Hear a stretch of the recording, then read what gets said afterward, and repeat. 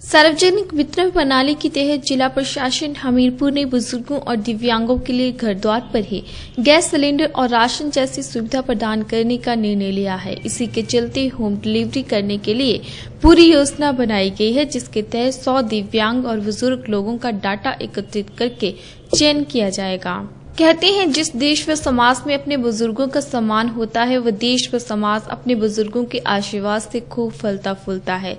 तथा उस समाज पर हमेशा दैवीय कृपा बनी रहती है। प्रत्येक व्यक्ति को अपने जीवन, दूसरी पारी में विशेष देखभाल व स्नेह की आवश्यकता होती है। बुज़ुर्ग लोगों की इस समस्या को देखते हुए, कोशिश करते हुए उपायुक्त हमीरपुर राकेश कुमार प्रजापति ने हमीरपुर के सौ बुज़ुर्ग लोगों को चिन्हित कर उनके घर पर सार्वजनिक वितरण प्रणाली की वस्तुओं की आपूर्ति को सुनिश्चित करने के लिए योजना तैयार करने का फैसला लिया है। इस योजना में खाद्य एवं आपूर्ति विभाग विभिन्न गैर सरकारी संस्थाओं के साथ मिलकर ऐसे सौ वरिष्ठ नागरिकों और दिव्यांग लोगों का डाटा एकत्रित करेगा जो स्वयं सार्वजनिक वितरण प्रणाली का लाभ उठाने में सक्षम नहीं है। सार्वजनिक वितरण प्रणाली की होम डिलीवरी को सुनिश्चित करने के लिए विभाग ने हमीर हमीरपुर उपभोक्ता संरक्षण संगठन जैसी संस्थाओं के साथ मिलकर समाज के इस वर्ग को विशेष राहत प्रदान करने का फैसला लिया है। उपायुक्त हमीरपुर राकेश प्रजापति का कहना है कि उनके पास ऐसी शिकायतें आ रही थी कि सार्वजनिक वितरण प्रणाली जैसी गैस सिलेंडर आदि की होम डिलीवरी सुनिश्चित नहीं हो पा रही है। इसीलिए उन्होंने खाद्य एवं आपूर्ति विभाग को आदेश जारी कर ऐसे सौ वरिष्ठ नागरिकों और दिव्यांग लोगों की सूची तैयार करने को कहा है। उन्होंने बताया कि बाद में इस योजना को ग्रामीण क्षेत्रों में भी लागू किया जाएगा। कई जो हमारे जनता के प्रतिनिधि हैं, उनसे एक शिकायत आ रही थी कि जो हमारे डिसेबल्ड लोग हैं, जो हमारे सीनियर सिटीजन हैं, उनके पास सिलेंडर्स पहुँच नहीं पा रहा है तो उनको होम डिलीवरी नहीं हो पा रही है। तो उसमें हमने डायरेक्शन दिया डीएफएससी को कि आप हंड्रेड ऐसे लोगों को आइडेंटिफाई करें और पर्सनली इसका इंस्पेक्शन करें और रिपोर्ट दें। इस संदर्भ में वरिष्ठ नागरिक एस के धीमान ने कहा कि जिला प्रशासन द्वारा शुरू की गई ये योजना बहुत अच्छी है। उन्होंने कहा कि वरिष्ठ नागरिक जिनके परिवार के बच्चे बाहर रहते हैं, उनके लिए योजना वरदान साबित होगी। हम इस स्कीम का बड़ा स्वागत करते हैं। बड़े अच्छे टाइम पर इन्होंने ये स्कीम लागू की है और इसके जो बुज़ुर्ग आदमी हैं, जो सीनियर सिटीजन है, मैं मैं समझता हूँ कि उनको बहुत ज़्यादा फ़ायदा होगा इसका।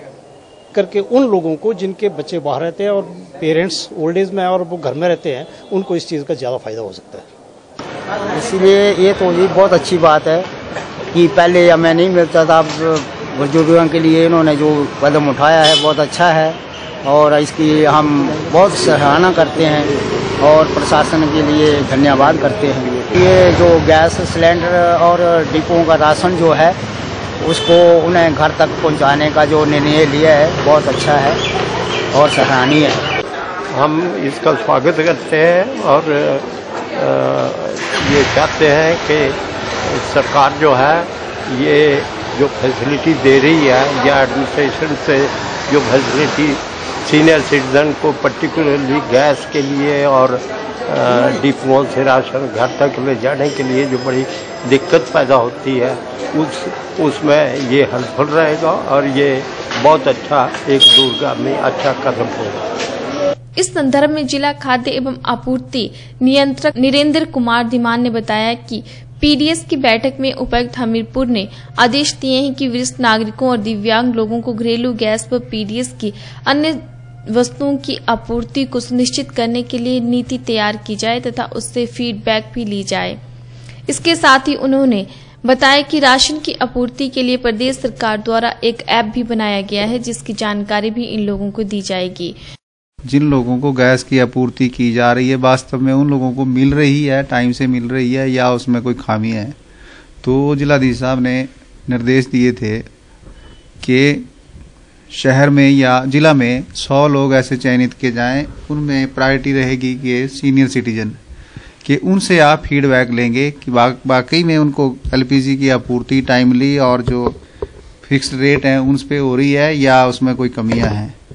तो हम इसके लिए कुछ एनजीओ से भी सहायता लेंगे उन लोगों के बारे में, उनकी लिस्ट बाकी दूसरे गैस एजेंसी पे जाके जब इंस्पेक्शन करते हैं तो गैस एजेंसी से भी जो डिलीवरी गत दिनों में हुई है, पिछले दो चार दिनों में, वो वाली लिस्ट लेके और उनके मोबाइल्स तो वहाँ पे एंटर होते ही हैं, उन मोबाइल नंबर्स पे हम कॉन्टेक्ट करके फीडबैक उन संबंधित कंज्यूमर से ले पाएँगे। वरिष्ठ नागरिक पुरुषोत्तम आनंद ने बताया कि उन्होंने कई बार राशन आने का पता नहीं चलता है और गैस सिलेंडर की ऑनलाइन बुकिंग भी दिक्कत देती है। उन्होंने बताया कि हमारे बच्चे विदेश में रहते हैं तथा वे लोग यहाँ अकेले रहते हैं। ऐसे में उपायुक्त हमीरपुर द्वारा चलाई गई इस स्कीम से उन्हें लाभ पहुँचेगा।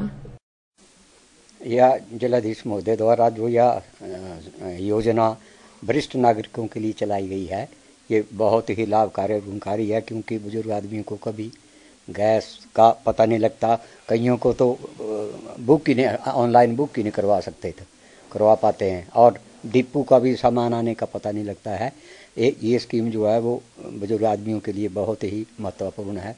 हमारे बच्चे जो हैं, बाहर फॉरेन में रहते हैं जी, और आजकल ऑनलाइन बुकिंग हो रही है। सारे काम ऑनलाइन होते हैं, परंतु हमको इसकी जानकारी नहीं है और ना ही हम ऑनलाइन कोई अपना काम कर सकते हैं।